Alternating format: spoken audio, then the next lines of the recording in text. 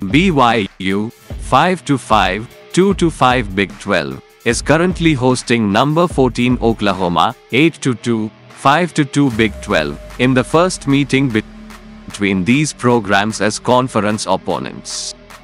The Cougars lead the all-time series 2 to 0, including an upset win over the Sooners in 2009. Kickoff for this huge Big 12 matchup was scheduled for 10 a.m. MT. It is the first 10 a.m. kickoff for the Cougars since 2019 against UMass.